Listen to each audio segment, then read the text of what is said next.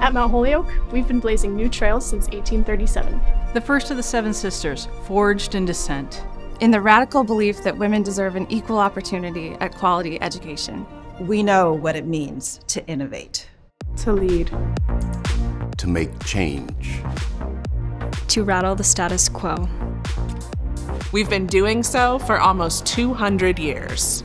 And remain committed to creating access and inclusion for historically underrepresented students.